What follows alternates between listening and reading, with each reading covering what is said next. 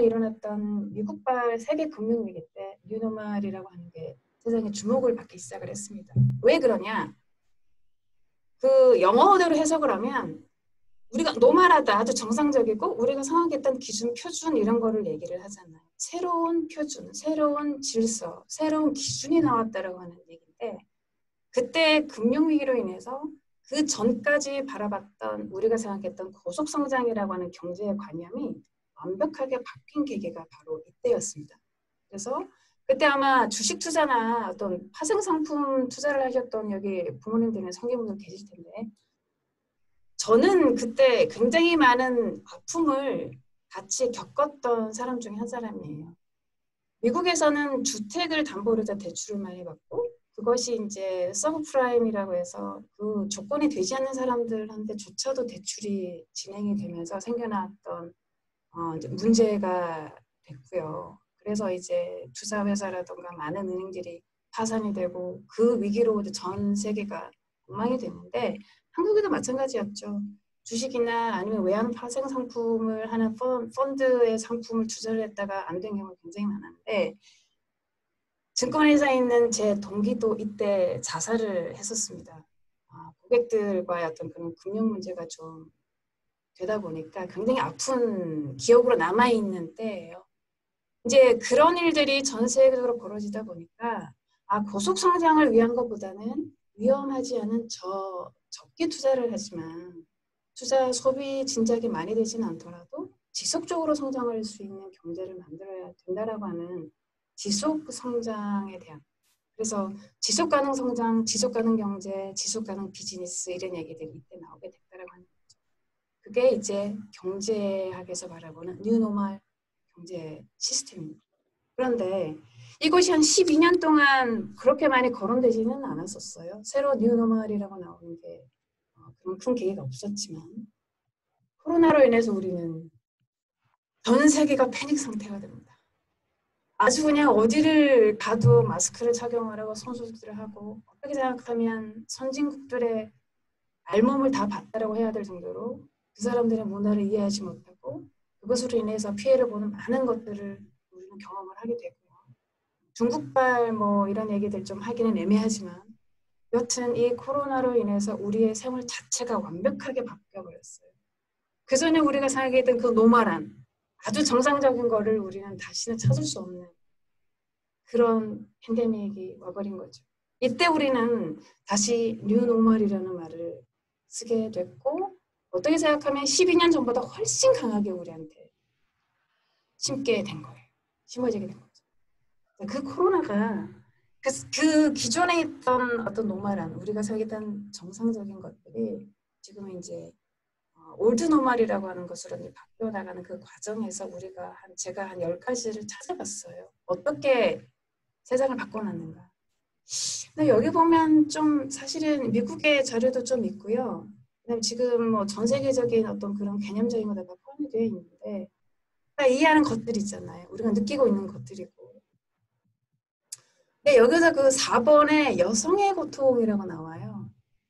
근데 이게 물론 이제 노동 기구에서 바라본 여자와 남자의 어떤 소득 차이나 더 많이 어, 잘리게 되거나 실업의 고통을 얘기를 하는 것 같은데 한국은 이거 말고 다른 고통이 있었잖아요. 코로나 때문에 집에서 아이들 온라인 교육을 체크를 해야 되고 그 아이들을 위해서 삼시세끼를 챙겨야 되는 이 고통이 뭐 저는 해보지는 않았지만 그 고통이 어마어마하다라고 하시더라고요. 아침부터 점심 저녁까지 매번 해대야 되는 그래서 학교의 그 급식 시스템이 얼마나 좋은 줄 알게 됐고 오히려 더 많은 돈이 들었다 이런 얘기를 나오면서 어떤 고통을 호소를 했었는데 이제 그렇게 돼버린 거죠. 어떻게 생각하면 옛날 같은 경우는 그게 노멀했는데 이제 그게 노멀하지 않게 되는 상황이 되거든요. 그렇죠. 그래서 온라인의 모임이나 행사나 이런 게 급증을 하게 됐고 배달이나 화성인이나 온라인 쇼핑몰의 사업이 급 성장하는 거였고 여기 10번이 굉장히 좀 재미있는 건데요. 이제 우리는 악수를 하지 않잖아요. 얼굴 맞대기 뭐 이런 것도 금지가 될 정도이고 근데 저는 테니스를 해요. 이 테니스를 할때 항상 악수를 하고 시작을 합니다, 원래. 그런데 이게 어떻게 변했느냐. 라켓을 부딪히는 걸로 인사를 대신하게 됐어요. 그전에는 상상할 수 없었던 거였는데 라켓을 부딪히면서 인사를 하는 걸 이제 굉장히 normal한 그런 시대가 되어버렸습니다. 그래서 뉴 노멀이라고 하는 게 우리의 생활 곳곳에 들어있는 아주 강력한 변화를 주게 된 거를 이제 우리는 뉴 노멀이라고 하는데 그 많은 것들을 우리가 키워드로 제가 한번 뽑았어요. 자, 뉴노멀 시대에 라고 불리우는 코로나로 인해서 생기는 뉴노멀은 키워드가 딱 두 개로 얘기해 줄 수가 있습니다. 그 중에 첫 번째는 바로 비대면입니다. 비대면은요 얼굴을 대면하지 얼굴을 대하, 맞대지 않는다라고 하는 의미인데 사실은 제가 보기에는 비대면보다는 더 우리가 거부를 하는 게 비접촉인 것. 누군가가 터치를 한 것, 누군가 만지고 부딪히고 한 곳에 내가 거기에 가지 않는 이런 부분들이 굉장히 새로운 트렌드의 키워드라고 보시면 되고요. 그 다음에 하나는 뭐가 있을까요? 이거를 한번 고민을 해 보신 분이 계신지는 모르겠는데 나머지 하나는 바로 분열입니다. 통합하고 세계는 하나, 우리는 we are family 이런 얘기는 이제 더 이상 우리에게는 없어진 지 불과 2, 3개월 안에 그런 얘기들은 우리에게 너무나도 옛날 얘기가 되거든요. 그래서 비대면과 분열이라고 하는 두 개의 키워드로 코로나 시대, 뉴노멀 시대를 표현할 수 있는 키워드가 바로 이 두 개입니다. 비대면은요, contact에 이제 un을 붙여서 언택트라고 하고요. 혹은 온택트라고 하는데 온택트는 온라인에서 이제 만난다고 하는 얘기예요. 그래서 저는 사실은 언택트보다는 온택트를 더 말을 하고 싶어요. 왜냐하면 온택트는 온라인상에서 전부 다 만날 수 있는 그런 것을 의미하기 때문에 온택트라고 하는 시대가 뉴노멀 시대에 비대면보다는 더 맞지 않을까라고 하는 생각이고요. 결국 직접적인 접촉을 거부하는 어떤 이 개념이 새로운 하나의 질서와 기준과 표준이 됐다라고 하는 얘기죠. 개인은 개인 단체 모임 안 하잖아요. 지금 하시나요? 혼밥 혼술 늘어나고 있죠. 혼자 집에 감금되듯이 집에 있는 경우도 처음에는 너무너무 많았죠. 학교는 온라인 수업을 하고 기업은 단체 회식을 하지 않고 재택근무를 하고 이렇게 바뀌어 나갔죠. 이것이 뉴노멀인데 그래 우리 옛날에는 어땠나요? 회식. 이렇게 숟가락으로 젓가락으로 고기를 서로 먹고 부딪히고 이런 일들이 이제는 있을 수가 없는 얘기예요. 그렇게 하고 싶지도 않고 그렇게 했을 때 우리는 강력한 레이저를 씁니다. 또 하나 이게 지금 그 꼰대 인턴이라고 요즘 나오는 드라마인데요. 사실 뭐 라떼 라떼 라떼 말이야 라떼는 이랬어 라고 이렇게 얘기를 하면 꼰대라고 얘기를 하지만 이렇게 90년대 때나 2000년대 초반에 이렇게 안 놀아보신 분 없잖아요 회식. 기업에서 회식 때는 전부 다 휴지로 춤 한 번 추고 소주 뚜껑으로 눈 한 번 넣어보고 눈으로 한 번 맥주병 따박 딱 보면서 그렇게 회식을 즐겼었거든요. 이제 이런 라떼 라떼 라떼 말이 이거는 정말 옛날 얘기 꼰대 얘기고요. 이젠 이런 것이 없어지고 이제 어떻게 되느냐면 온라인으로 회식하는 이런 문화로 바뀌어버렸죠. 그래서 국가는 어떻게 하느냐 여행을 하지 못하게 하고 해외에서 입국을 제한을 하기도 하고 사회적 거리를 두기로 해서 대면하지 못하고 접촉하지 못하게 이러한 시스템으로 완벽하게 바뀌어 버렸습니다. 자, 분열은요 사실 이게 굉장히 무서워요. 너 죽고 나 살자 이런 개념으로 갈 수밖에 없는 상황인 거죠. 그런데 우리는 너무나도 아쉽게도 이러한 정치, 경제의 불안과 분열을 받아들여야만 생존이 가능합니다. 자, 백신이에요. 이게 언제 백신이 나올지 아무도 알 수가 없습니다. 개발된 백신 나오면 다른 나라 먼저 줄까요? 절대 안 주죠. 나 먼저 무역 보호주의. 지금 미국은 쇠국 정치를 편지가 굉장히 오래됐습니다. 그 정책이. 사실은 코로나 전에 많은 나라들이 걱정을 했어요. 미국이 저렇게 쇠국 정책, 정책 을 펴서 어떻게 살아남을 수 있을까라고 했지만 결국은 지금 온 나라가 그렇게 가고 있죠. 우리나라도 먹고 살기 위해서 또 살려내기 위해서 여러 가지 자부책을 많이 마련을 하고는 있기는 하지만 결국은 지금 중국과 미국의 어떤 무역 전쟁이나 지금 전 세계적인 유럽과 미국의 어떤 대륙적인 전쟁의 이 모든 것이 이런 무역 보호주의이고 IT 보호주의에서 비롯된 거예요.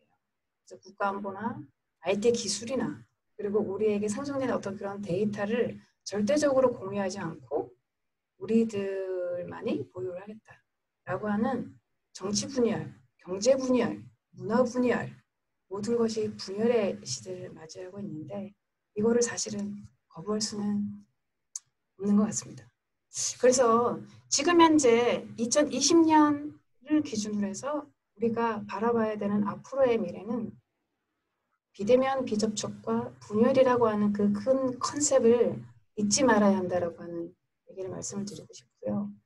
그래서 이제 저희가 아, 지금까지 말씀을 쭉 드렸던 디지털 transformation이 정지가 되는 것은 아닙니다. 그것은 더 가속화될 거고요. 비지트가 2016년부터 쭉 얘기했던 것들이 멈춰지는 게 아니에요. 거의 더욱더 악셀레이터를 밟아서 가속화 되는 시점이지만 단 하나 온택트라고 하는 어떤 뉴노멀 시대를 맞이를 했기 때문에 온라인이나 가상현실을 기반으로 한 디지털 transformation에 중점을 둬야 한다고 하는 얘기죠.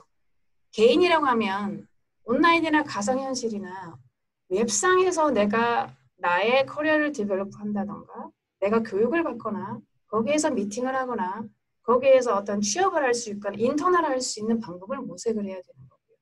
기업은 온라인이나 가상 현실을 기반으로 둔 디지털 시스템을 개발을 했을 때 앞으로의 미래 생존이. 또한 협동 로봇, 자율주행차 등 사람이 직접 서비스를 하거나 사람과 같이 한 공간에서 있지 않는 그러한 산업이 더욱더 부상이 될 겁니다. 자율주행차가 아, 앞으로는 더 연구의 대상이 될 수밖에 없죠. 로봇은요, 저희가 아, 롯데 월드타운가요? 잠실에 있는 거 거기를 가시면 로봇이 서빙하는 레스토랑이 있어요. 아, 저희가 뭐 다른 로봇 시스템에 대한 거를 컨설팅도 했었고 캐나다뿐만 아니라 미국 전, 전 세계에 있는 이제 일본 로봇 시스템을 저희들이 보고 어떻게 적용되는지를 보고 왔었는데 그것을 옛날에는 굉장히 신기하게 쳐다봤었어요. 사람들이 오면은 온다고 사진 찍고 거기서 어떻게 음식이 들어오는지 궁금해하고 그랬는데 이번에 그 롯데월드타워에 갔을 때 그 로봇이 이제 배달을 하는 시스템에서는 아무도 그걸 신기하게 바라보는 사람이 없었어요. 왜요? 그게 더 편하거든요. 사람이 나한테 손으로 뭔가를 접촉해서 주지를 않고 또, 또 하나 그게 그냥 평소에 더 낫다라는 생각, 이게 이상하다는 생각, 왜 로봇일까라고 하는 생각을 전혀 하지 않는다라고 하는 얘기죠. 그게 이제 나에게는 굉장히 normal한 하나의 시스템이 되어버렸기 때문에. 그 다음에 드디어 우리 한국말로 하면 또가 되는데요. 또 이런 시대가 됐구나. 자, 또 시대에는 데이터 경제가 급부상할 거고 지속되었던 데이터의 중요성은 지금 뭐 말할 필요가 없어요. 전 국가 기업의 숙제입니다. 그래서 data economy는 데이터를 활용을 해서 새로운 가치를 만들어내서 수익 창출을 하는 고 경제 시스템을 데이터 경제라고 하는데 이 부분에 더 부각이 될 거다라고 하는 거고요. 그 다음에 비슷하면 데이터 말고 또 생각나는 게 있죠. 기본소득입니다. 기본소득은요. 작년 2019년 연말에 아마 저희가 고객 대상으로 해서 강의를 했었을 때 기본소득제에 대한 기본적인 패러다임에 대한 얘기를 말씀을 드렸어요. 근데 기존에 알고 계신 분도 계시지만 처음 듣고 계신 분도 계셨을 때 그때 저희가 뭐라고 했느냐 2020년대 물 위로 떠오를 거라고 했는데 참 이렇게 깜빡이도 없이 훅 들어올 거라고는 생각은 못했죠. 여튼 기본소득제의 다양한 형태로 데이터 배당이라든가 재원을 마련하려면 디지털세가 좀 더 부각이 될 거라고 하는 얘기죠. 디지털세는요, 참 많은 국가들이 고려하고 있는 재원 중에 하나예요. 이거는 대체 뭐냐? 플랫폼 기업이 어, 세금을 내라는 얘기예요. 너네가 우리 데이터를 써서 돈을 버니까 세금을 내라. 이게 아일랜드 유럽에서 이제 시작을 하려고 작년에 이제 발표를 했고 아일랜드, 영국, 스페인, 프랑스 이쪽으로 해서 디지털세를 한 2%에서 3% 나라보다 좀 다르긴 한데 이제 부과를 하는 걸로 하고 올 초부터 거의 이제 실질적으로 내는 걸로 이제 정책이 사실은 됐었어요. 근데 플랫폼 기업의 대부분이 미국이잖아요. 근데 미국의 입장에서는 그 디지털세를 낸다라고 하는 것에 반박이 심해요. 그래서 그 협상이 계속 진행이 되다가 올해 코로나가 갑자기 터지는 바람에 미국에서 잠시 우리 좀 잠정적으로 좀 휴전을 하자. 이 상황에서 아직 확정이 된 건 아닌데 디지털세는 앞으로 지속적으로 고려될 수밖에 없는 지원 중에 하나가 되겠습니다. 데이터 배당은 제가 뒤에 또 말씀을 드릴게요. 그래서 디지털 시대라고 하는 것과 데이터 ontact라고 하는 이 세 개의 개념을 융합을 시켜 mix up을 했을 때 어떤 비즈니스나 나의 커리어에 어떤 방향이 나올 수 있다라고 하는 것을 기억을 해두시면 될 것 같아요. 그래서 2016년부터 비지트가 예상했던 미래를 조금 한번 볼게요. 자, 이제 저희가 등장을 합니다. 자, 왼쪽에 보시면 기본소득입니다. 기본소득과 기본급은 틀립니다. 기본급은요. 자, 소득의 종류에는 아, 근로소득이 있고 어, 무슨 소득 있죠? 아, 근로소득과 아, 불, 불로소득도 있고 별로 생각이 안 나네요. 일단 소득의 종류가 꽤 여러 가지가 있어요. 근데 그 근로 소득을 이제 임금이 그 안에 이제 그 포함이 되는데 내가 급여를 받을 때 그 안에 기본적으로 받는 금액을 기본급이라. 근데 기본소득은 근로소득 안에 있는 그 급여들의 기본급이 아니고요. 소득의 하나의 개념으로 어, 독단적으로 가지고 있는 어, 인컴이에요. 그래서 기본소득과 기본급을 헷갈리시면 안 되십니다. 그래서 기본소득, 그 다음에 협동 로봇, 사람과 같이 일을 하는 로봇 시스템, 그 다음에 전기자동차, 저희가 전기자동차 오너이기도 하지만 전기자동차가 지속적으로 갈 거다. 테슬라가 지금 고공으로 지금 끝없이 올라가고 있습니다. 테슬라 주식을 좀 사놨어야 했는데 지금 굉장히 매출도 많죠. 우리나라의 모델 아, 모델 아, 3인가요? 그게 들어오면서 굉장히 이제 저별 확대가 돼버렸어요. 충전하는 게 좀 힘들긴 하지만 한 4천만 원 주고 6천만 원짜리 효과를 내는 테슬라 모델 3가 들어와서 지금 많은 사람들이 테슬라를 또 하고 있습니다. 자 데이터 이거는 뭐 말할 것도 없고요. 그 다음에 digital transformation 수도 없이 저희가 얘기했던 거고요. 그 다음에 바로 자율주행 mobility입니다. 자가용뿐만 아니라 무인 헬기라던가 이런 것들 전부 다 포함이 되는 얘기죠. 그 다음에 온라인 교육을 저희가 얘기를 했었는데요. 오프라인 학교는 없어진다. 그러면 그 오프라인은 어떻게 가느냐. 커뮤니티의 하나의 장이 될 뿐이고 모든 교육은 사이버 온라인으로 갈 것이다. 라고 이제 했었는데 이것이 아주 그냥 훅 들어와 버렸습니다. 그래서 전 세계적으로 online school tool이 없는 사람들은 이 어떤 줌이라고 하는 걸로 이용을 하면서 이 온라인 교육을 실시를 해왔죠. 그 다음에 저희가 또 얘기했던 게 바로 공유 경제입니다. 차량을 공유를 하거나 숙박을 공유하는 이런 공유 경제인데요. 자, 이 중에서 저희가 예상했던 것들이 몇 개가 있는데 지금 코로나 때문에 여기서 예상했던 것이 가장 좀 어, 잘못됐다라고 표현하기는 좀 뭐하지만 타격을 가장 많이 받은 게 뭐죠? 뭘까요? 스피커를 꺼서 그렇죠? 공유 경제입니다. 왜요? new normal 시대라고 얘기했던 비접촉, 비대면 이거와는 너무나도 상충하고 있기 때문이에요.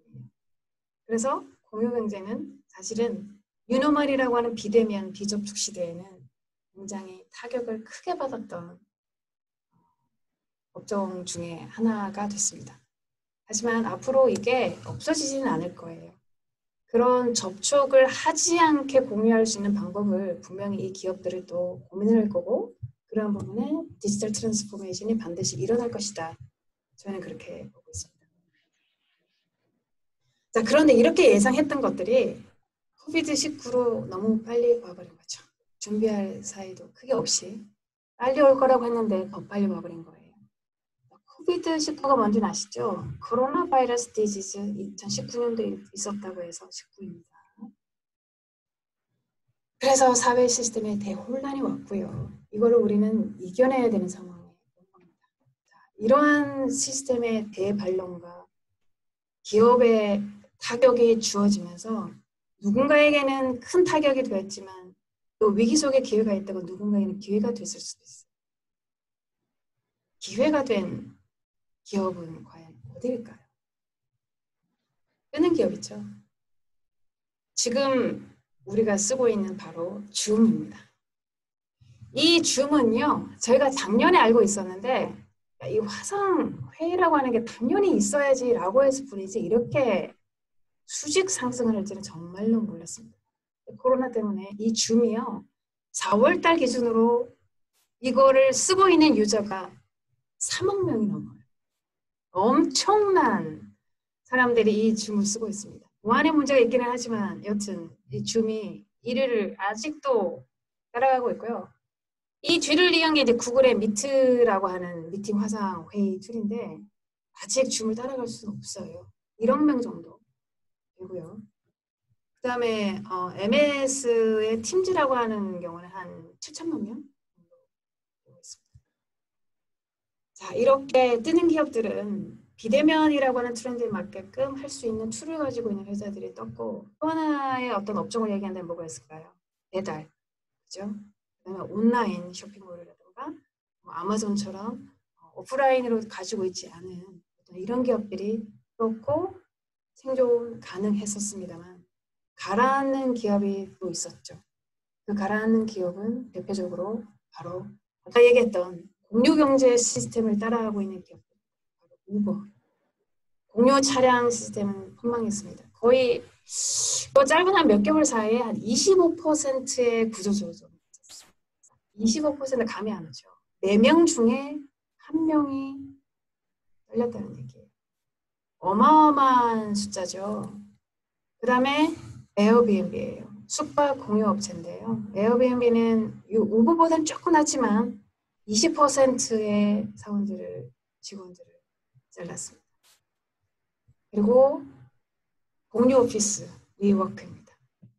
위워크가 아, 손정의 돈을 엎어서 굉장히 파격적으로 사업을 했었어요. 한국에서 위워크가 엄청나게 새로 론칭이 되고 있었는데 이제 힘들다 보니까 이제 그 branch를 몇 개 없애는 이런 아픈 경험을 불과 몇 개월 사이에 하게 된 거죠. 자, 이런 공유 경제 관련 업체뿐만이 아니라 오프라인을 주도했던 쇼핑몰이나 이런 데는 거의 또 폭망을 했다 보고요. 그 다음에 어, 비대면을 하지 않는 어떤 그런 다양한 업종들이 거의 힘들어졌다라고 보시면 되고 어떻게 생각하면 가장 뭐 힘들었던 사람은 아마 자영업자가 아닐까요? 식당에 사람이 오지 않고 옷가게에 사람이 오지 않으니 장사가 될 수도 없고 그래서 더 힘들어지고 그래서 코로나 바이러스 지원금을 뭐 내주는 어떤 지원 정책이 있었지만 그것은 일단 일시적인 것밖에 되지 않기 때문에 근본적인 어떤 그 자영업자들의 생태계를 바꾸지 않는 한 코로나가 지속되는 코로나 이후에 따른 바이러스가 지속적으로 발생되어진다라고 감안을 본다라고 하면 정말 생태계 자체를 엄청나게 바꿔야 되는 시점이 된 거예요. 자, 이게 들리실지는 잘 모르겠는데 먼저 한번 들어볼게요. 잘 들.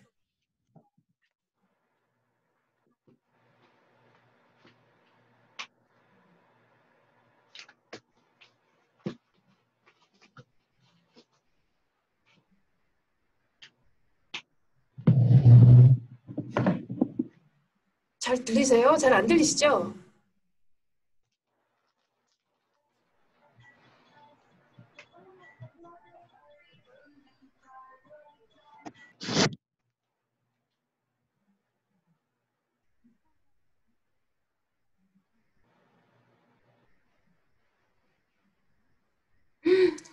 근데 이 화면에 이게 녹색 이게 뭘까요? 이거 제가 한 게 아닌데 이게 나타나네. 처음부터 있었어요. 이게 왜 있을까요? 전 제가 그린 줄 알았는데. 그건 아니에요. 자, 요 내용이 뭐냐면요. 아, 이스타항공의 신입 조종사들이 이제 거의 다 잘렸습니다. 우리 고객 중에도 인천항공에 근무하시는 분이 계신데 지금 어디에 계시냐면 집에 계세요. 왜요? 일을 못해요. 공항을 이용하는 사람이 없습니다. 왜요? 여행을 못하니까요. 입국하는 사람을 제한을 하니까. 그래서 지금 현재 인천공의 90%에 가까운 사람들이 지금 실업의 위기를 겪고 있고 전부 집에 있습니다. 조종사들도 마찬가지죠. 시간을 투자를 하고 비용을 투자를 하고 많은 에너지를 투자를 해서 조종사라고 하는 굉장히 하이 클래스의 직업을 준비를 해봤는데 이 코로나 때문에 굉장히 큰 타격을 입어서 대리운전을 하고 있다고 하는 얘기죠. 이게 지금 코로나로 인한 지금 우리의 모습입니다. 자, 개인은 이러한 실업의 위기와 굉장히 아픈 경험을 하고 있고 어, 기업은 뜨는 기업과 가라앉는 기업의 또 분류가 극명하게 됐고요. 국가 또한 이 코로나로 인해서 아젠다가 굉장히 많이 바뀌고 있습니다. 지금 현재 그 전부터도 거론되긴 했지만 굉장히 탄탄하게 거론되고 있는 아젠다가 두 개예요. 그 중에 하나가 기본 소득입니다. 법제화까지 하겠다라고 지금 내려고 있는데 이건 색깔론이나 사상론을 떠나서 정말로 생존이라고 하는 것 때문에 기본 소득이라는 거론할 수밖에 없다라고 하는 게 여야 모두의 생각이고 이제 그것이 뭐 어느 쪽이냐 내가 해야 된다 너가 해야 된다 뭐 이런 어떤 그 내가 먼저 한번 해볼게 내가 리딩을 할게 이런 차이일 뿐이지 기본소득을 해야 된다라고 하는 부분에 대해서는 어느 누구도 지를 못하고 있는 상황. 이제 또 다른 하나가 바로 데이터인데요. 그 부분은 제가 이따가 설명을 해드릴게요. 자, 기본소득의 전이라고 해서 어떻게 성장을 해왔는지를 간단하게 한번 좀 말씀을 드릴게요. 기본소득은 기본적인 개념이 우리나라 국민이면 누구나 개인에게 모두 줘야 한다고 하는 내용이에요. 근데 이번에 재난기본소득일 때 아, 대부분의 사람들이 다 받았습니다. 그죠? 물론 이런 게 있어요. 엄마, 나도 대한민국 국민인데 왜 내 돈은 어디 갔어? 너한테 안 줘. 부모님이 다 받았어요. 근데 애들도 일단 다 받았다는 얘기. 왜? 부모님이 화폐, 지역화폐나 신용카드 다 받았습니다. 그러니까 다 받은 거예요. 4인 가족 기준, 2인 가족 기준 다 받았기 때문에 안 받은 게 아니에요.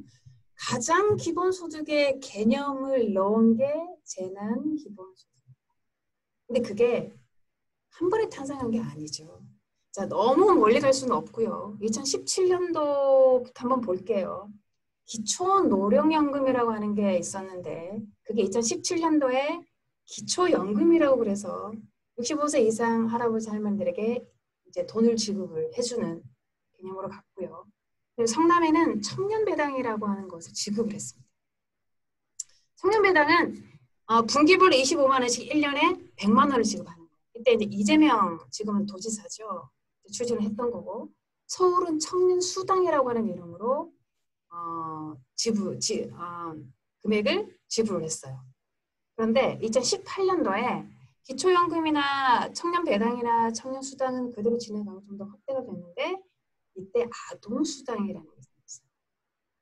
처음에는 만 6세 뭐 그 소득위를 정해서 줬지만 이것이 지금은 또 만 7세 이하 모든 아동한테 다 주는 걸로 확대가 됐어요. 그리고 2019년도에는 기존에 했던 걸 또 그대로 옵니다. 청년배당이 이제 성남뿐만 아니라 경기도까지 확대가 돼요. 그리고 농민수당이 처음으로 지급이 됐습니다. 전라남도 해남에 연 60만 원이라고 하는 금액을 처음으로 지, 그, 줬어요. 그래서 농민수당이 2020년도에는 또 확대가 되고 있어요. 경기도 파주나 하기 위해 포천이나 이쪽에 정말 농민들을 위해서 또 농민수당을 확대해야 된다고 해서 확대가 되고 있고요. 그 다음에 경기도 데이터 배당이라고 하는 게 2020년도에 처음으로 실시가 됐어요. 그리고 코로나 덕분인지 여튼 재난기본소득을 우리는 받게 됐습니다. 물론 여기 오늘 오신 분 중에 이 재난기본소득을 기부하시겠다라고 하는 분이 계셨는데 그분이 과연 기부를 하셨는지 안 하셨는지는 잘 모르겠네요. 어떻게 하셨나요? 요즘 지금 참가는 하셨는데 대답을 안 하시네. 여튼 내가 기부를 하지 않는 이상은 재난기본소득을 다 받으셨어요. 그리고 박원순 서울시장이 청년 월세라고 하는 거를 추진하고 있습니다. 200만 원 최고 200만 원까지 9월 달부터 월세를 지급을 해주겠다라고 하는 거죠. 자 이렇게 지속적인 복지 정책에 가까운 하지만 복지 정책이지만 기본 소득의 형태에 가까운 것들이 발전을 해왔습니다. 그런데 기본 소득을요 복지냐 복지가 아니냐 이런 걸로 굉장히 싸움이 일어나고 있거든요. 여러분의 생각은 어떠세요? 기본소득이 복지의 개념일까요? 기본소득을 복지 정책으로 생각하면 이건 해석이 안 돼요. 왜? 기본 예전에 이제 복지 정책이 어떻게 나오게 됐냐면 다이아몬드형의 계층 구조였어요. 중산층이 많을 때 빈곤층, 저소득 층을 위해서 중산층이 세금을 내면 나라에서 그 재원으로 저소득층, 빈곤층을 도와주는 복지 정책을 폈습니다. 그런데 어, 3차 산업혁명이 일어나고 4차 산업혁명이 이제 일어나면서 그 계층이 완벽하게 갈라지게 됐죠. 모래형인데 그 모래형은 아주 특이한 모래형이에요. 머리는 조그만하고요. 밑에가 엄청 크고 중산층은 잘록한 이런 모래형 비정상적인 형태의 가분수형 모래형 계층의 형성이 된 거. 이렇게 됐을 때 그 중산층에 있는 재원이 나오나요? 아니면 위에 있는 상위층에 그렇게 돈을 내나요? 그럼 빈곤층은 이제 어떻게 살아야 되죠? 복지 정책을 펼 수가 없습니다. 그래서 복지 정책이라고 하는 개념으로 들면 기본소득을 이해를 할 수가 없어요. 그래서 하나의 경제 모델로 보셔야 되는데 작년 연말 강의 때 좀 했지만 오늘 또 새로운 분이 계시니까 제가 잠깐 설명을 드리겠습니다. 우리의 경제 주체는 딱 세 개예요. 하나는 가계고요. 하나는 정부고요. 하나는 기업입니다. 요 세 개가 경제를 돌아가는 순환 구조의 주체예요. 그러면 가계라고 하는 아버지가 됐던 나가 됐던 부모님이 됐던 우리가 기업에 가서 일을 하고 기업에서는 그 근로 소득을 주게 되어 있습니다. 그러면 사람은 내가 돈을 벌었으니까 근로 소득 세를 내요. 기업은 상품을 어, 이제 사람이 생산을 했으니까 그거를 사람들에게 팔고 거기에 대한 수익에 대한 부가가치세나 사업소득세 등등 사업에 관련되는 세금을 정부에 냅니다. 그러면 기업은 사업 관련된 세금을 내고 어, 사람은 음, 일을 한 근로소득에 관련되어 있는 세금을 내면 정부는 그 재원으로 복지 정책을 폈어요. 그런데 문제가 생겼습니다. 어떤 문제가 생겼느냐? 인공지능 내지는 기계화나 자동화가 되면서 어? 내가 그 다음날 아침에 일어나니까 please 오지 말라는 거예요. 그럼 어떡해요? 내가 돈을 벌 수가 없잖아요. 그럼 내가 돈을 못 버니까 어떻게 돼요? 근로소득세를 못 내요. 그러면 내가 벌어서 소, 득을그 소득세를 내는 세금은 정부는 받지를 못합니다. 그러면 사람은 기업은 상품을 생산을 하죠. 제품도 생산을 하고 서비스도 제공을 합니다. 왜? 자동화되어 있는 인공지능 기계가 있으니까. 그러면 사람이 기존에 모아둔 돈은 있으니까 구매를 합니다. 그러면 기업은 거기에 따른 세금을 내요. 이게 한 부분이고요. 반대로 한번 생각해 봅시다. 이렇게 지속이 됐을 때 내가 번 돈이 고갈이 되고 벌 수 있는 돈이 없으면 더 이상 제품이나 상품을 살 수가 없고 서비스를 이용을 할 수가 없어요. 그러면 나는 근로소득세를 낼 수가 없고 기업은 제품이나 상품이나 서비스가 팔리지 않았기 때문에 수익이 없어요. 수익이 없으면 뭘 먹네요? 세금을 먹네요. 그럼 이게 어떻게 되는 거죠? 그냥 너 죽고 나 죽는 거예요. 전부 다 죽는 거예요. 경제가 돌아가지 않는 거죠. 돈이 돌아가지 않는 거죠. 그래서 어떤 개념이 되어야 하느냐? 우리가 얘기하는 디지털세, 로봇세, 인공지능세 그런 세금을 매겨야 된다고 하는 이유는 그것들이 나의 일자리를 대신해서 들어와서 너네가 제품을 생산을 하거나 서비스를 만들어냈을 때 우리가 그거를 써줘야 돈이 돌기 때문에 거기에 따르는 세금을 정부에 내면 정부가 우리에게 기본적으로 기본소득을 주고 그 돈으로 나는 제품을 사고 상품을 사고 서비스를 이용을 하겠다라고 하는 얘기예요. 이게 새로운 기본소득의 새로운 경제 모델입니다. 이거 여기까지가 저희가 작년에 했던 얘기들이고요. 여기에서 굉장히 앞으로 더 발전이 돼야 되는 부분은 재원 관련되어 있는 부분인데 여러 가지 시스템 연구해야 될 부분은 엄청나게 많아요. 그래서 오른쪽에 보시면 데이터 배당 서비스라고 하는 게 있을 텐데 이따가 제가 설명을 드릴게요.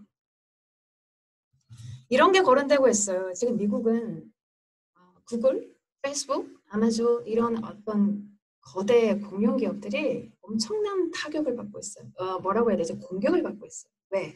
야, 너네 플랫폼 기업인데 소셜 미디어에서 어 너네가 그 수집한 우리들의 데이터 그다음에 검색 키워드를 이용해서 너네가 모아준 그 데이터를 이용해서 너네가 지금까지 어, 공룡 기업이 됐는데 거기에 대해서 너희들은 부당이익을 취했다. 우리의 것을 가져갔음에도 불구하고 너네들은 너네들만 독식한 거 아니냐. 그래서 거기에 대한 어떤 배상이나 하라. 이런 법정 다툼이 일어나고 있어요. 결국은 뭐냐? 그 플랫폼 기업화가 되면서 생기는 문제인데 데이터가 없으면 그런 기업이 살 수가 없고 그것으로 인해서 기업이 성장을 했는데 그 데이터의 원주인이 누구냐? 지금 현재는 기업이 되고 있지만 생산의 주체는 바로 우리잖아요. 거기에 대한 나는 아무것도 이득을 본 게 없습니다.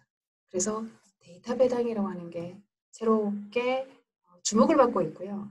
데이터 배당이라고 하는 시스템을 가입을 한다면 기본소득의 재원 마련이나 기본소득의 어떤 새로운 패러다임으로 접목이 돼서 좀 더 원활한 보편적 기본소득 경제 모델이 만들어지지 않을까 하는 생각이 들어요. 앞으로는 아마 이 방향으로 나가야 되는 부분이 있습니다.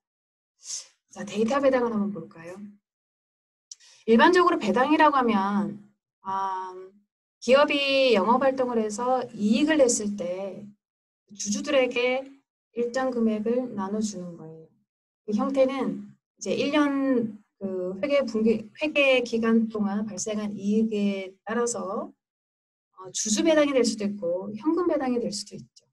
그래서 배당을 일정 부분 합니다. 그런데 데이터 배당은요. 소비자들의 데이터를 수집, 활용을 한 그 기업들이 수익 창조를 했을 경우에 데이터 생산에 기여한 개인에게 수익을 돌려줘야 한다고 하는 개념입니다. 그래서 아까 말씀드렸던 공룡 기업들이 공격을 받고 있는 것도 바로 이 부분이고 기본소득이라고 하는 것이 어, 어떤 식으로 방향을 잡아가야 될지에 대한 것. 네. 너네가 디지털세나 인공지능세나 이런 거를 내야 되는 거는 너네가 우리한테 적선하듯이 주는 게 아니라 내가 너한테 도움을 줬기 때문에 거기에 응당한 대가를 주는 거야. 내가 실업을 당해서 돈을 못 벌어서 너가 나한테 주는 게 아니야. 라고 하는 형평성에 대한 부분에까지도 가게 되는 부분. 이게 굉장히 의미가 깊어요. 경기도형 데이터 배당이라고 하는 건데 전 세계적으로 세계 최초로 진행한 데이터 배당입니다. 자, 오른쪽에 보시면 지역화폐가 보이실 텐데요. 여기서 지역화폐 쓰시는 분 혹시 계시나요? 아, 지역 화폐 지금 다 서울 분이시죠? 수원패 있어요. 아, 예.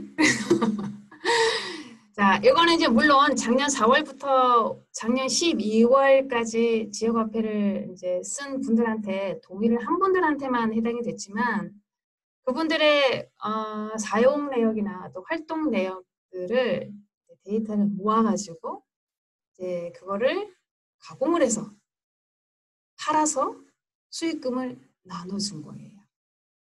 물론 내 정보를 어, 하지, 쓰지 마 라고 하는 사람한테는 주진 않았지만 동의를 한 사람들한테는 지불을 했습니다. 그래서 그 금액이 얼마냐? 120원이에요. 야, 야, 이거 뭐 12만 원도 아니고 1,200원도 아니고 120원도 뭐라냐.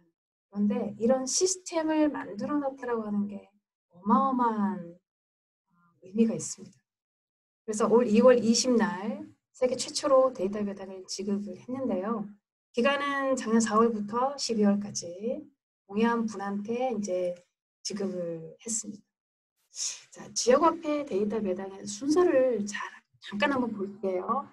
자, 여기 물론 이제 경기도니까 경기도민이 지역화폐를 사용합니다. 생산이 되는 거예요. 그렇게 데이터가 생산이 되면 플랫폼을 거쳐서 데이터가 가공이 됩니다. 사용할 수 있도록 가공이 되고요. 여기는 개인정보가 씹히지 않게끔 가공을 해야 됩니다.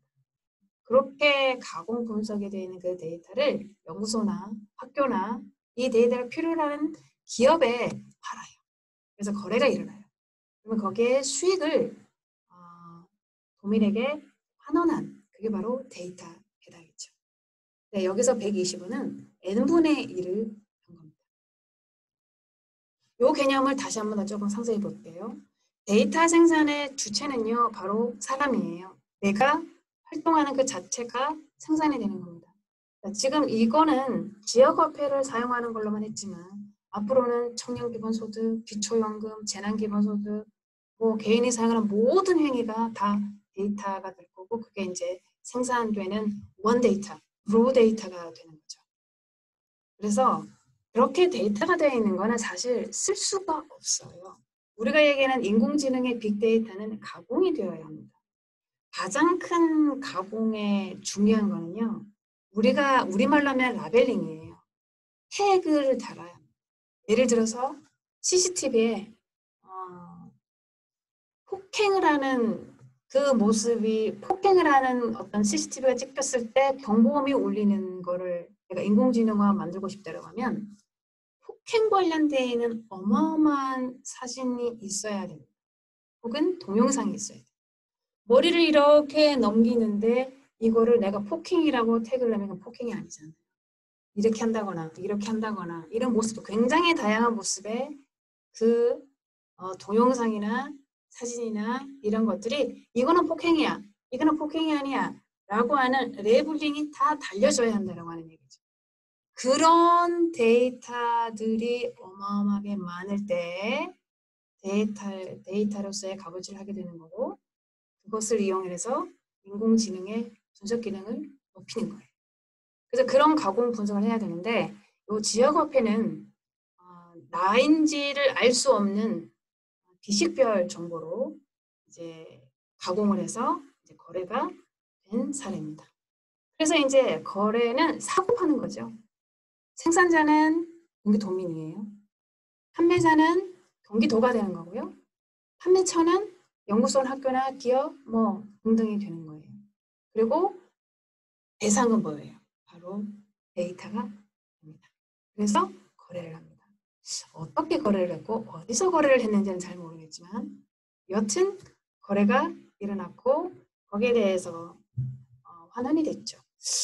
자, 제가 이 순환 구조를 보시면서요. 제일 앞부분에 말씀을 드렸다면 앞으로 이 데이터를 이용해서 어떻게 비즈니스가 발전이 될까? 어떤 비즈니스로 활용을 할까? 나의 커리어는 어떻게 할까? 나의 진로는 뭘로 할까? 나의 직무 변화는 어떻게 해야 될까를 고민해 보라고 말씀을 드렸던 이유가 이 데이터가 순환 구조에 있어서 내가 해야 될 일이 분명히 있다는 겁니다. 데이터 배당을 준다고 하면 어떻게 해야 데이터 배당을 주죠? 그 데이터의 값어치를 누가 매길 건데요? 이 가격을 누가 책정을 할 건데요? 이 가격에 맞는지 안 맞는지 평가는 누가 할 거고 데이터를 배당을 지급할 수 있는 그 툴은 어떤 플랫폼을 할 겁니까? 그 배당금을 현금으로 지급할 건지 아니면 뭐 신용카드로 할 건지 이걸 어떻게 할 건지에 대한 고민 이걸 지급 시기를 1년에 한 번 할 건지 한 달에 한 번 할 건지 뭐 여러 가지를 고민해야 될 것들이 굉장히 많습니다. 시스템적으로. 거기에서 내가 할 일은 무엇일지를 뭐 앞으로 고민해 있는 부분이죠. 자, 이러한 지역 화폐 어떤 데이터 배당에 대한 순환 구조를 가만히 보면 데이터를 빼고 얘기할 수가 없잖아요. 그래서 우리는 데이터 경제라고 얘기를 합니다. data economy라고 얘기를 하는데 이 데이터를 우리는 이렇게 비유를 해요. 4차 산업혁명 시대의 원유다. 석유다. 이제 이렇게 얘기를 하죠. 이게 딱 정확한 어, 비유기는 합니다. 사실. 우리 석유를 한번 볼까요? 자, 제조 산업 기반일 때 그 석유는 아, 그 산업을 융성하게 만들었던 그 원천적인 자산이 그 원유 석유였어요. 그럴 때 굉장히 그 불을 가져올 수 있었던 그 기술은요. 시추 기술이었어요. 물론 원유 보유국은 더 짱이었죠.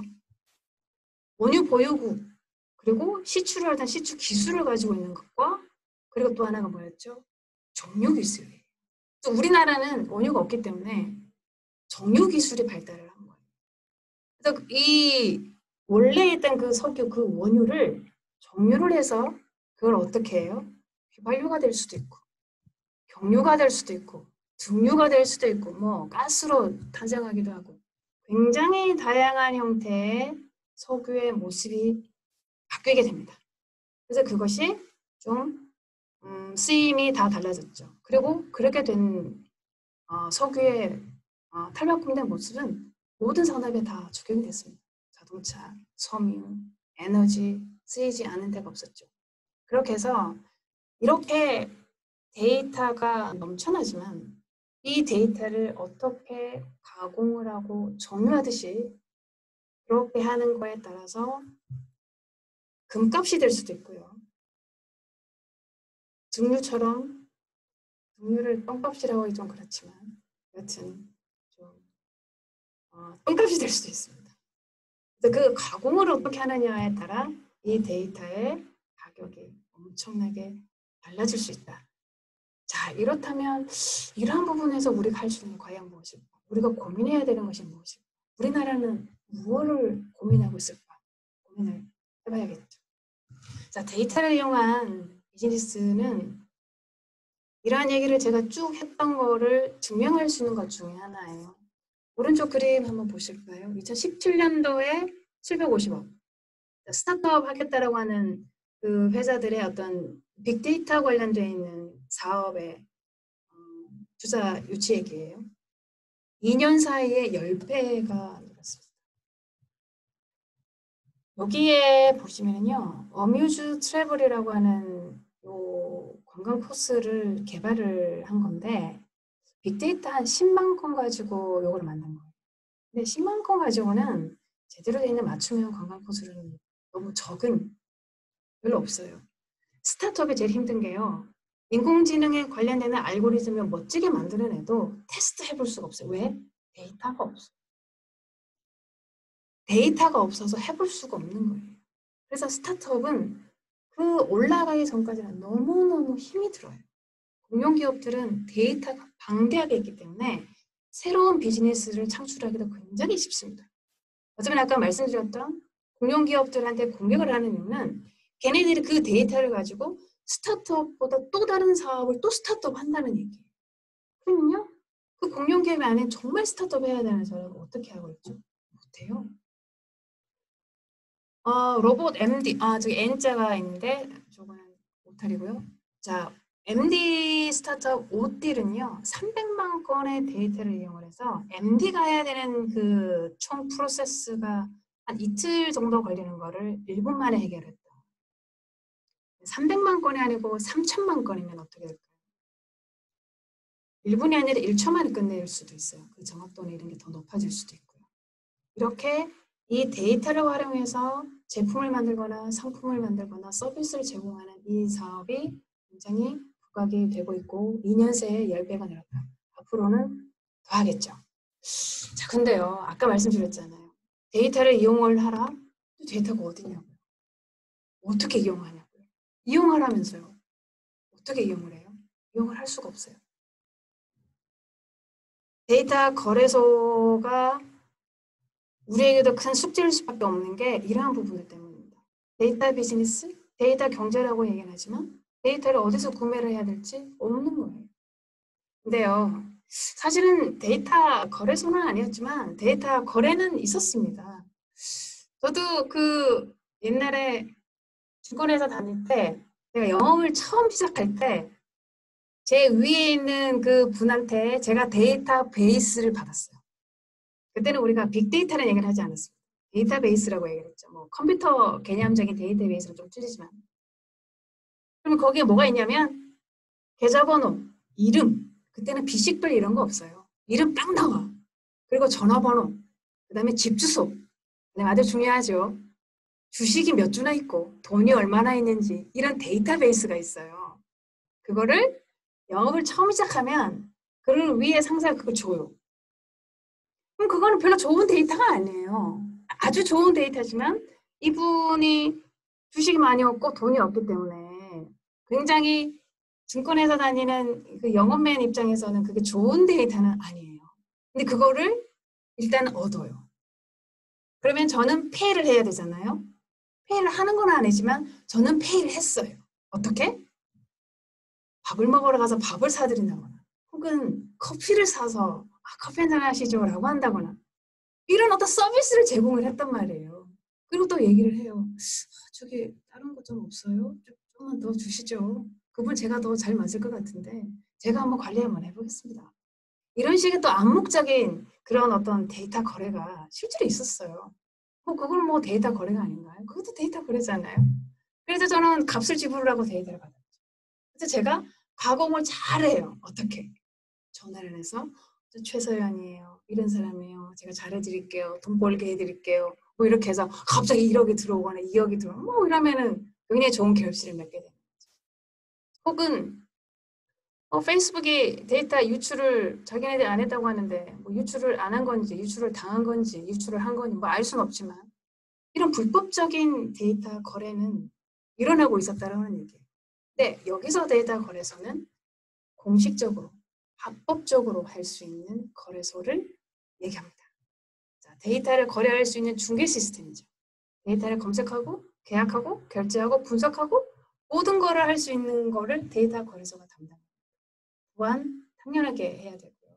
데이터 표준화, 가격 산정, 유통, 관리 이런 것들을 총체적으로 데이터 거래소에서 해야 되는 역할인데 놀랍게도 미국은요 700여 개가 있습니다. 우리나라는 몇 개가 있을까요? 맞추시는 분 혹시 있을까요? 제로? 하나? 둘? 몇 개일까요? 우리나라는 지금까지 두 개 있습니다. 자, 요거는 음, 뭐, 뭐 더 있을 수도 있지만 일단은 민영으로 볼게요. 두 개예요. 한국 데이터 거래소가 작년 12월에 런칭했습니다. 민간 첫 데이터 거래소예요. 그 다음에 올해 금융 데이터 거래소가 생겼죠. 금융거래 데이터가 생겼다라고 하는 거는 금융권이죠. 은행이라던가 보험사라던가 이런 데 데이터를 이제 공유를 해서 이제 매매가 일어나는 금융 데이터 거래소. 자, 이런 개념으로 보면 야, 미국에 700개가 생겼네? 가능해요? 가능하지 않아요? 가능해요. 뭐 교육 데이터 거래소, 뭐 건축 데이터 거래소, 뭐 말할 거 없잖아요. 다 할 수 있는 거예요. 근데 그걸 얼마만큼 합법적으로 아, 인정을 받느냐라고 하는 부분인데 이렇게 지금 우리나라는 민영이 두 개가 있습니다. 자, 화면을 한번 보실게요. 여기 지금 한국 데이터 거래소의 모습인데요. 아, 여기 보이세요? 첫 번째 주 왼쪽에서 두 번째, 오른쪽에서 두 번째. 전국 일반 맛집 데이터가 얼마예요? 2억 2,500만 원. 괜찮지 않아요? 그죠? 자, 이 안에 데이터가 과연 어떤 식으로 이제 가공이 되어 있느냐에 따라도 물론 다르겠지만 저는 이제 궁금한 거예요. 이 2억 2,500이라고 하는 금액이 어떠한 기준으로 가격이 책정이 되었을까? 그 옆에 있는 인기 맛집은 1억 2천 정도 되고요. 뭐 1,500만 원짜리, 100만 원짜리 무료도 되게 많아요. 그게 이제 좀 궁금하긴 합니다. 그래서 데이터 거래소는 이렇게 실질적으로 되고 있고 금융 데이터 거래소도 지금 거래가 된 게 한 60건 넘고 100건 가까이 정도 된다고 합니다. 뭐 한 달 정도 됐는데도 어 많이 쓰고 있는 거죠. 그다음에 요거는 이제 미니 아니고 공공기관에서 만든 건데요. 경기도 데이터 드림이라고 있습니다. 여기 드림이라고 보니까 왠지 공장 같죠? 거래소 같은 경우는 돈을 줘야 되는 거고 드림 같은 경우는 돈을 안 줘도 주겠다라고 하는 얘기니까 여기는 무료입니다. 그래서 경기 데이터 드림에 들어가시면 어, 필요한 것들을 다 찾을 수 있어요. 웬만한 것들은 많이 들어있더라고요. 여기에서 뭐그 소방관 119 시스템도 여기서 데이터를 얻어가지고 경기도 내에 소방 시스템을 바꾸기도 하고 해서 대통령 표창상을 받았더라고요. 그 정도로 이제 데이터를 경기 도민들에게 좀 파격적으로 오픈을 하고 있는 아마도 이재명 도지사가 기본소득의 기본 데이터 배당을 알고 있기 때문에 이런 것도 좀 열지 않았나 하는 생각이 들고 있고요. 그 다음에 이제 데이터 바우처라고 하는 게 있어요. 데이터 바우처는 한국 데이터 산업진흥원에서 진행을 하는 건데 우리 대한민국은 사실은 데이터 관련해서는 이 산업진흥원에서 거의 총체적으로 총괄하시면 됩니다. 물론 그 외에는 정통부가 있지만 이 데이터 바우처는 어떤 거냐면요. 아까 말씀드렸다시피 나 스타트업인데 데이터가 있어야 인공지능을 테스트를 해보잖아요. 그래서 결과를 만드는데 데이터를 구할 수가 없어요. 그래서 데이터 산업진흥원에서 어떻게 했느냐? 데이터 바우처를 만들어요. 쿠폰 같은 개념이죠. 그래서 어떻게 하느냐? 데이터를 가지고 있는 공급처를 선정을 해요. 그리고 나 데이터 필요해. 왜 필요하냐? 우리는 이런 사업을 해서 이런 상품과 이런 제품을 만들 건데 이런 서비스를 제공할 건데 이런 이런 데이터가 필요해 라고 하는 거를 제안을 해요. 그러면 진흥원에서 그걸 보고 선택을 합니다. 그래서 이거 공급기업과 여기를 매칭을 시켜주는 거예요. 그러면 스타트업 기업들, 중소기업 스타트업, 아주 작은 기업들은 그 데이터 매칭되어 있는 기업의 데이터를 가지고 오는데 바우처를 주고 직접적인 돈거래가 일어나지 않는 거죠. 그러면 그 바우처를 받은 기업은 주는 거예요. 데이터. 이러한 사업은. 근데요, 이게 저희 고객 중에 지금 한 분도 데이터 바우처 사업 준비를 했고 지금 제안을 아마 넣으셨을 거예요. 5월달까지였으니까. 이거 병폐가 굉장히 많아요.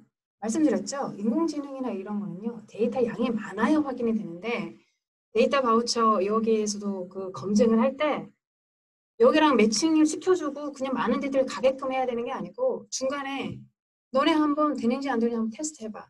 그 결과가 안 나오면 데이터 바우처 못 줘. 근데 그걸 안 주면 어떻게 테스트를 해요? 실질적으로 그 프로젝트를 행할 수가 없잖아요. 이런 부분들 때문에 과연 데이터 바우처가 실효성이 있느냐? 이런 부분들이 좀 나오곤 있는데 좀 지속적으로 사업을 해왔던 부분이기 때문에 좀 건설적으로 진행이 됐으면 좋겠어요. 스타트업 중소기업들의 입장을 좀 고려하는 그런 어, 지원이 돼야 발전이 되지 않을까 하는 생각이 들고요. 그 다음에 이제 마지막으로 데이터청입니다. 뭐 국세청 같은 개념이죠. 이제 올 6월 초에 이제 거론이 시작이 됐습니다. 결국은 데이터를 통합 관리를 해야 된다. 그래서 표준을 만들고 관리하고 그래서 여기에서 할 수 있는 어, 4차 산업혁명에 따른 어떤 데이터 원료 같은 그 데이터를 공공하게 쓸 수 있도록 해줘야 된다라고 하는 개념으로 지금 굉장히 힘있게 밀어붙여지고 있는데 저는 사실은 우려가 돼요. 아까 데이터 바우처도 보셨지만 그게 실효성이 좀 떨어지고 있잖아요. 중간중간에 프로세스는 이런 게 사실은 중소기업이나 스타트업들이 원할 수 있는 그런 부분들보다 탁상 공론적인 프로세스에 염두하는 경우가 더 많아요. 그럼 데이터 청이 생겼을 때 이 데이터를 정말로 기업이 제대로 쓰고 그거를 수익을 창출할 수 있게끔 관리를 어떻게 할 수 있을까? 과연 여러분들이 비즈니스의 환경을 제대로 이해를 하고 그 사람들을 이해하는 입장에서 할 수 있을까? 이런 의문이 좀 있습니다. 제발, 제발 비즈니스를 하고 있는 그 환경을 좀 이해를 하는 선상에서 데이터 통합 관리가 좀 이루어지기를 바라는 마음이고요. 자, 이렇게 해서 이제 제가 1부를 마치게 됩니다. 지금까지 제가 데이터의 중요성과 데이터가 어떻게 가공이 되냐에 따라서 금값이 되고 똥값이 될 수 있으며 그 데이터를 비즈니스에 어떻게 접목을 해나가고 국가가 어떻게 노력하고 있는 있는지를 제가 총체적으로 일단은 좀 말씀을 드렸어요. 자, 저희가 그동안 이제 설명회를 많이 해가지고 상당히 제너럴한 부분에서 많이 접근을 했다면 이제 저희도 이제 이런 언택트 시대에 왔기 때문에 온택트죠. 그래서 좀 이제 정말 실질적인 부분으로 저희가 들어가야 되겠다라고 해서 어, 지금 저희가 이제 어, 제가 다루려고 하는 부분이 바로 data science 분야입니다. 어찌 보면은 가장 어, 유일하, 유일하고 가장 많은 직업군이 미래 직업군이 탄생할 수 있는 어, 분야가 data science예요. 근데 data science라고 하니까 대부분 생각을 하는 게 아, 그럼 난 툴만 다루어야 되냐 이렇게 생각들을 하고 계신 분들이 계시거든요. 근데 그건 아니고요. 정확히 말씀드리면 자기 전문 분야에다가 이런 툴 같은 기술을 접목시키는 사람이에요. 그래서 우리가 인문학을 얘기할 때 art science라고 하고 경영학을 얘기할 때 social science라고 하는 이유도 바로 science에다가 자기의 전문 인문이라든지 경영이라든지 경제를 붙이는 겁니다.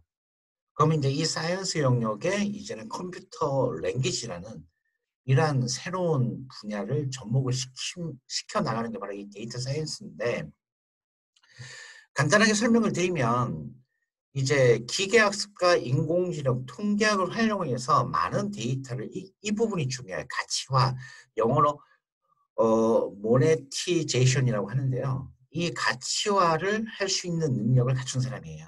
그래서 이 가치화를 한 데이터를 어떻게 비즈니스에 접목을 시켜서 새로운 부가가치를 만들어 내는 역량을 가진 사람을 바로 data science라고 어, 직업을 data science 그리고 그런 사람을 data scientist라고 저희가 총칭합니다.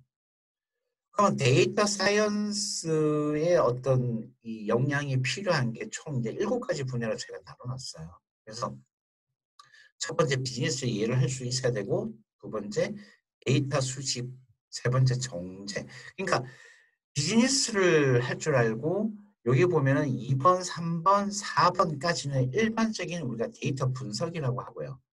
바로 5번, 5번이 정말 중요한 거예요.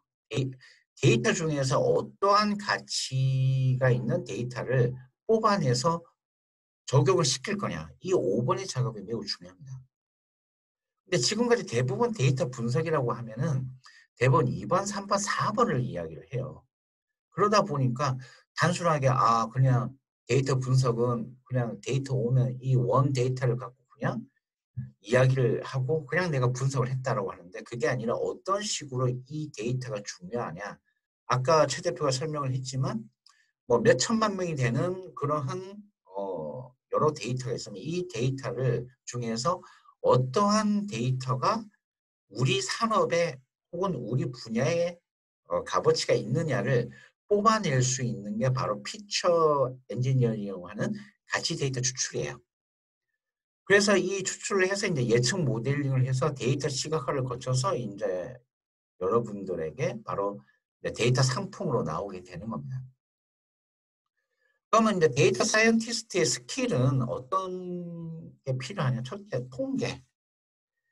이 통계를 모르고서는 data science의 어떤 이 데이터를 모을 수가 없기 때문에 통계는 기본적인 기본으로 이야기를 합니다. 그 다음에 ICT 기술을 다룰 수 있어야 되는데요. 여기 보면 IC, ICT 기술 중에 대표적인 게 바로 데이터 센터의 바로 어, 하드웨어 부분이라 할 수 있는 Linux, Unix 환경도 어느 정도 아셔야 돼요. 뭐 기본적으로 Win, Window 서버도 알아야 되고 리눅스 서버도 알아야 되고 요즘은 클라우드 서버까지 알아야 됩니다. 그리고 밑에 나와 있듯이 Java, Ruby, Python 같은 스크립트 언어라고 하잖아요. 이 스크립트 언어가 있어야 바로 이 서버와 연동이 될 수가 있기 때문에 아셔야 됩니다. 그래서 여기 비상 상황이라는 게 나오잖아요.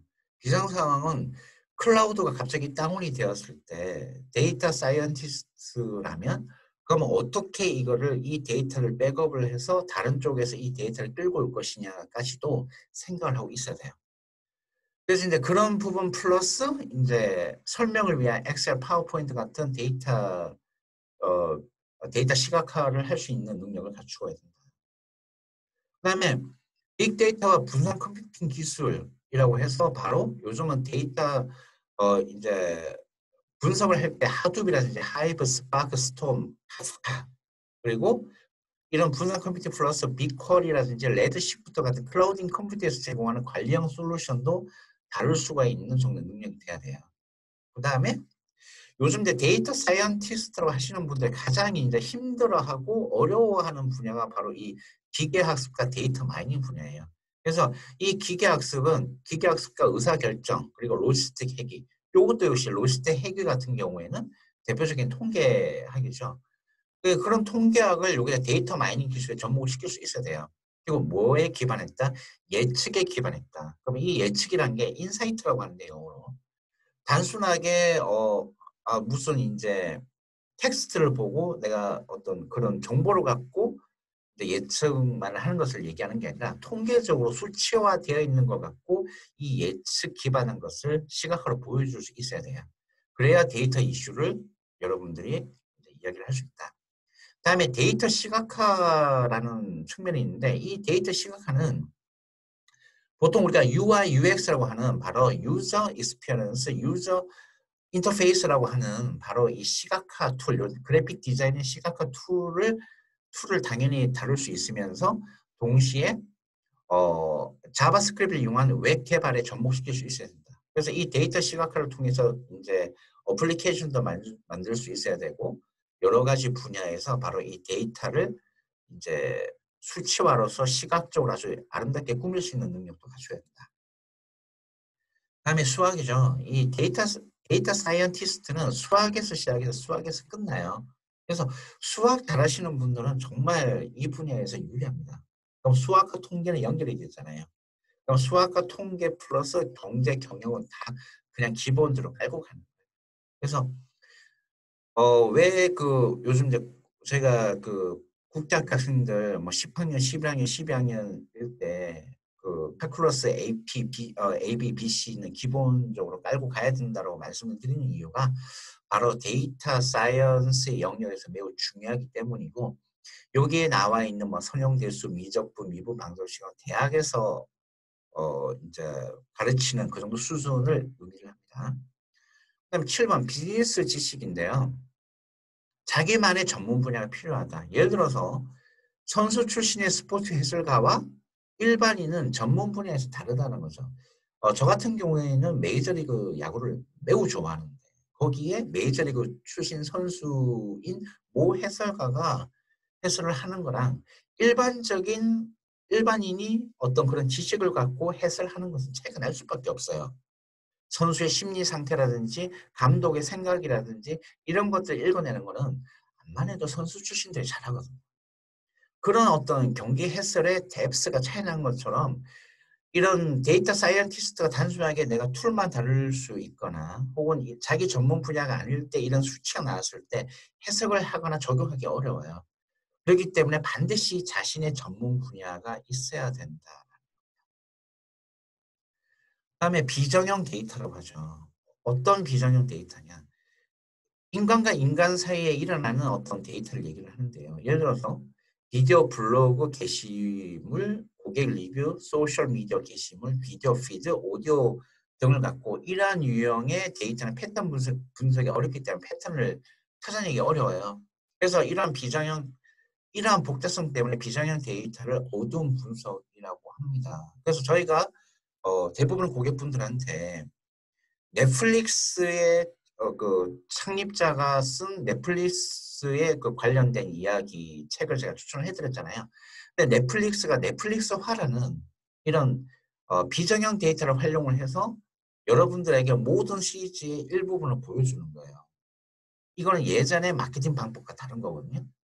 그 이유는 이 처음에 이 데이, 그 마케팅 전문가들과 그냥 단순하게 데이터 전문가들을 이 고용을 했는데 이게 별로 효과가 없었어요. 효과가 없었고 그래서 어떻게 했냐 바로 어, 다른 방법으로 접근을 했다는 거예요. 어떤 식으로 접근을 했냐 하면 바로 인류학자, 역사학자 이런 사람들이 와가지고 이제 사람들의 심리 패턴을 분석을 한 거예요. 그 결과 사람들의 사람들이 요구하는 게 바로 이러한 시리즈물을 아주 부분 부분 전체를 한번 다 보여주는 게 좋겠다라고 했는데 그게 대박이 났어요. 그래서 현재는 넷플릭스뿐만 아니라 어 뭐 모든 뭐 웨이브라든지 이런 데서도 그런 걸 보여줍니다.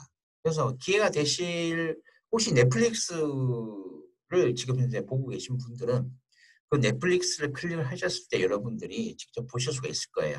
이 넷플릭스라는 거를. 이게 바로 비정형 데이터를 활용을 한 대표적인 사례고요. 다음에 아홉 번째 정보 융합 능력을 얘기를 합니다. 이 정보 융합 능력은 실천적인 데이터가 주어졌을 때 이 data scientist들은 여러 가지 정보를 융합을 잘 알아야 돼요. 그래서 여기 보시면 뭐 생물 정보학, 뭐 비즈니스 데이터과학, 환경 데이터 쭉 나오는데 이번에 이 data scientist들이 정말 필요하다라고 나올 수 있는 부분이 바로 코로나 예측 부분입니다. 이 코로나 예측 부분은 단순하게 어, 이런 감염 전문가들만 갖고 되는 게 아니고 data scientist들이 붙었어요. 그럼 어떤 data scientist들이냐? 역사를 할 줄 아는 data scientist, 인류학을 할 수 있는 data scientist들이 붙어가지고 이 감염체의 역사적인 어떤 스토리와 사람들의 어떤 행동 패턴까지 다 읽어낸 거예요. 그래야 정, 이 정확도가 있는 코로나 감염 경로를 파악을 할 수 있었거든요. 그러니까 이제는 한 분야를 내가 제대로 알고 있는 상황에서 여러 가지 종, 여러 가지 분야를 두루두루 깊이는 있지 않더라도 많은 정보를 폭, 폭 넓게 깊게는 없지만 깊이는 없지만 폭 넓게 알 필요가 있다. 이것이 바로 정보 융합 능력을 얘기합니다. 다음에 소프트 스킬인데요. 이 소프트 스킬은 이제 앞으로 말씀드렸지만 정보 융합 능력이 활용이 되면요.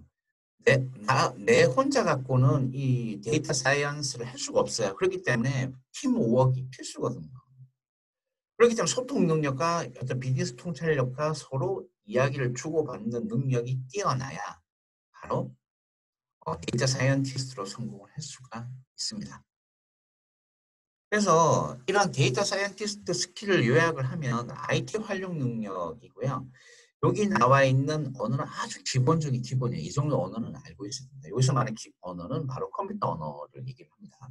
그리고 서버 및 cloud computing 컨트롤 능력이 있어야 돼요. 그러니까 내가 아무리 IT 능력이 뛰어나도 내가 clouding 서버의 특징을 모르는 상황에서 예를 들어서 만약에 데이터가 날아가는 경우 종종 있잖아요. 이런 경우 어떻게 백업을 할 것이며 어떤 식으로 이거를 이제 어, 복구를 할 것이냐 이건 기본적으로 아셔야 됩니다. 그리고 데이터 분석에 관련 학술 정보 능력이 있어야 된다라는 거죠. 그래서 어, 미국의 통계를 보면 data scientist의 86%가 석사 이상이에요. 그러니까 평균 경력이 10년 이상입니다. 데이터 분석에 관련돼 있어서. 그러니까 내가 뭐 나의 시작이 수학이 될수 있고 컴퓨터 공학이 될 수도 있지만 때로는 내가 경영도 할 수 있고 계량 경제학도 할 수 있고 금융공학도 할 수 있고 심지어 어떤 분들은 내가 심리학도 할 수 있어요. 하지만 앞부분에 언급된 IT 활용, 활용 능력과 서버와 computing 능력을 어느 정도 갖고 있으면 data scientist가 될 수가 있습니다. 그리고 이제 마지막으로 설득 및 프레젠테이션, soft skill 능력이 있으셔야 된다는 거예요. 그래서 지금 청년들 되게 취업하기 힘들잖아요. 근데 이제 취업하신 분들의 특징 중에 하나는 이런 soft skill 능력이 뛰어나신 분들이 많아요. 그러니까 아무리 내가 IT 활용 능력이 뛰어나고 이런 어, 데이터 분석 능력이 뛰어나도 soft skill 능력이 떨어지면 상당히 자신을 appealing하기 어렵습니다. 자, 그래서 저희가 data scientist 미래 진로라고 해서 이제 실질적인 부분을 좀 같이 나눠 보려고 하는데요. 저희들이 얘기를 하는 것보다는 어, 미국의 보스턴에 있는 노스이스턴 대학에서 전망을 한 data science 어, 11가지 미래 진로예요. 근데 여기서 2위에서 11위까지를 합쳐놓은 게 1번인 data science입니다. 그래서 어, 천천히 이제 설명을 드리면 데이터 분석을 말 그대로 데이터 분석을 하는 사람이에요.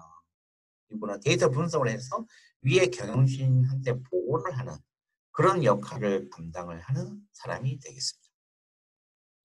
자, 통계학자는 아까도 말씀드린 데이터 분석 또는 data science의 가장 기본이 통계잖아요. 그러니까 통계는 어, 어떤 데이터 수집, 분석 및 해석을 하고 종종 설계 데이터 수집 프로세스와 이해 관계자들의 전달, 조직, 전략, 자문 등을 하는 거야. 근데 통계학자는 여기서 말하는 리서치 쪽이기 때문에 순수 통계학을 의미를 합니다. 다음에 여기 이제 9번부터 business intelligence 개발자라고 나오죠. BI인데 내가 비즈니스를 알고 있는 상황에서 비즈니스 의사결정을 내리는데 뭘 이용을 한다고요? 이 데이터 솔루션, 이른바 ERP를 붙이는 거예요.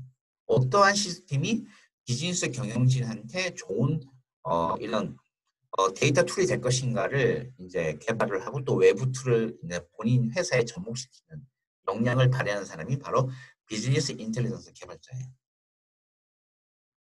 자, 데이터 엔지니어인데 아까 데이터 분석가와 차이점은 이 데이터를 분석하는 거에 끝난 게 아니라 바로 조직 내에 상호 연결된 데이터의 관리 시스템을 만들어 가지고 데이터 파이프라인을 어, 어떤 그 회사에 구축을 하는 역할을 합니다. 회사는 회사, 국가는 국가. 그래서 요즘 정부 기관에서 공무원들 뽑는데 이런 데이터 엔지니어를 뽑으려고 해요. 그런데 경쟁이 치열하나? 치열할까요? 아닙니다. 안 가요. 연봉이 적기 때문에. 그래서 데이터 엔지니어를 요즘 못 구해서 공공기관에서 못 구해서 난리예요. 그래서 이제 외주를 주는 경우가 많은데 그래서 이런 부분에서 이제 이 데이터 엔지니어는 아까도 말씀드렸다시피 어떤 데, 이터 분석한 데이터를 어떤 회사에 접목시키는 어떤 시스, 시스템을 만드는 역할을 한다라는 것들을 아시면 되겠습니다. 자, 인프라 설계자는 어떤 거냐면요. 이제 이 인프라는 것은 아까 말한 이런 데이 모든 비즈니스 시스템이 최적화 작동할 수 있는 기술 및 시스템 요구 사항을 이제 개발이라는 부분에 들어가는 거예요. 그러니까 아까 말한 그 BI 담당자가 인프라까지 설계를 하고 있으면 제가 인프라 설계자라고 보통 얘기를 해요. 그래서 보통 이제 회사에서 뭐라고 부르냐 클라우드 인프라 architecture라고 하거든요. 아키텍처는 바로 시스템 설계자입니다. 자, 여기가 데이터 아키텍처죠. 그러니까 여러 플랫폼을 통한 설계 분석 애플리케이션을 위해 데이터 솔루션을 구축을 해야 되는데 이 데이터 시스템을 만드는 것 외에도 기존 시스템의 성능과 기능을 개선해야 된다. 그러니까 여기 6번부터 뭐가 들어가냐? 바로 서버에 대해서 실질적으로 서버를 구축할 수 있어야 돼요. 저 하드웨어적인 부분도 들어가요. 6번부터는. 그래서 clouding 서버에다가 혹시 클라우드가 다운이 됐을 때 혹시 모르니까 백업 자체적인 서버까지 시스템을 만들 수 있어야 돼요. 데이터 아키텍처는. 그래서 enterprise architecture는 이제는 그 사람이 이제 위에서 시키면 시키는 대로 이제 시스템을 만드는 사람이고 enterprise라는 말이 들어가는 순간 바로 조직의 전략과 목표를 실행하는 필요한 기술 조정을 할 수 있는 능력. 아까 말씀드린 바로 데이터 아키텍처와 데이터 분석가 이런 사람들을 총괄적으로 이제를 리더를 리더십을 가지고 있는 사람들을 의미를 합니다. 이제 5번부터 관리자적인 측면에 들어가겠죠. 자, 4위는 응용 프로그램 설계자인데요. 이 사람은 마찬가지로 사용자 인터페이스 이제는 어 5번까지는 사용자, 즉 유저의 인터페이스가 신경 안 썼어요. 그냥 우리 회사의 차원의 어떤 의사결정 부분만 신경 쓰면 되는데 이제 4번부터는 누구를 얘기한다? 사용자까지 이제 생각을 해야 된다. 즉 비즈니스 측면에서 이제 마케팅 측면도 생각을 할 수 있어야 돼요. 응용 프로그램, 프로그램 설계자는. 자, machine learning 이제 학습인데 아까 제가 말씀드렸다시피 이 data scientist 중에서 요즘 machine learning 전문가들이 생각보다 적어요. 그래서 이 분야가 상당히 어, 유리한데 그래서 내가 만약에 data scientist가 되겠다고 했을 때 machine learning 쪽으로 내가 어, 진로를 설정을 한다면 상당히 그 부분이 유리할 수가 있습니다. 처음 시작 때부터. 그래서 데이터 마이닝 작업 시 아까 labeling이라고 하죠. labeling 붙인 데이터를 supervised 데이터라고 하고요. 그리고 그런 labeling이 안 된 것이 비슈퍼바이스예요. 그래서 AI가 예를, 예를 들어서 이게 고양이다, 개다 이렇게 분별을 할 때 labeling이 되어 있으면 이 여기서 이제 이 만약에 개를 얘기, 진돗개를 얘기할 때 이 진돗개가 어떤 진돗개라는 것이 딱 여러분 띄워져요. 사진만 딱 보여줘도. 근데 이게 만약에 labeling이 되어 있지 않는 데이터, 즉 비슈퍼바이스 알고리즘으로 되어 있을 경우에는 이게 그- 이 개긴 개인데 어떤 개인지 설명이 안 돼요. 그래서 실제적으로 데이터 가치화가 되어 있는 거는 이 supervised 알고리즘이 되어 있는 데이터를 의미를 합니다. 그래서 보통 이러한 machine learning, 기계학습 과학자를 보통 우리가 종종 연구과학자 혹은 연구 엔지니어라고 하는 job title로 보통 이야기를 해요. 자, 다음에 이제 기계학습 엔지니어인데 이 기계학습 엔지니어는 실질적으로 아까 말한 AI AI 기- 이제 개발자에서 이제 이 기계학습 엔지니어는 데이터 유입 종류를 만들고 소프트웨어 솔루션을 하고 일반적인 기술과 소프트웨어 엔지니어링 지식을 필요로 하고요. 그다음에 이런 기계학습 시스템을 실질적으로 회사에다가 접목시키는 데 최적화가 되어 있는 사람이에요. 그래서 이제 1위가 바로 data scientist입니다.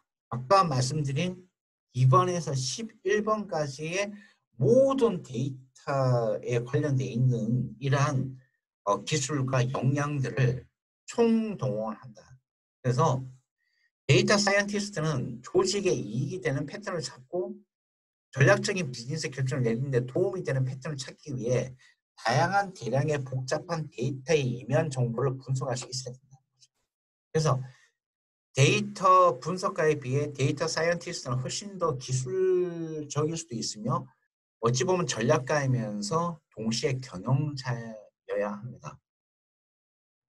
그래서 뭐 우- 우리나라 같은 경우에 지금 뭐 실질적인 data scientist가 없다 그래요. 미국에도 많지는 않은데 한국 같은 경우에 실질적으로 data scientist 찾기가 하늘의 별따기고 그래서 미국에서 수입을 해오, 해오는 그런 상황이라고 해요.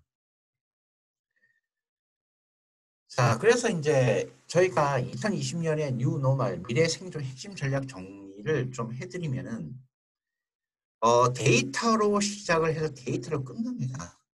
그만큼 데이터가 이제는 우리의 삶 속에 녹아드는 그런 시기다라고 말씀드릴 수 있고요. 다음에 데이터 가치화와 데이터 배당이 현재 급부상하고 있습니다. 그리고 data scientist는 유일한 미래의 job이에요. 이제 이 직종을 제외한 나머지 직종들은 새로운 job을 구하기가 정말 어렵습니다. 그러면 data scientist라는 게 아까 제가 말씀을 드렸지만 물론 machine learning부터 시작하는 게 유리할 수 있지만 내가 통계를 전공을 했어도 갈 수가 있고요. 내가 뭐 자신이 수학을 전공해서 갈 수 있고 심지어 내가 art를 전공해도 상관이 없어요.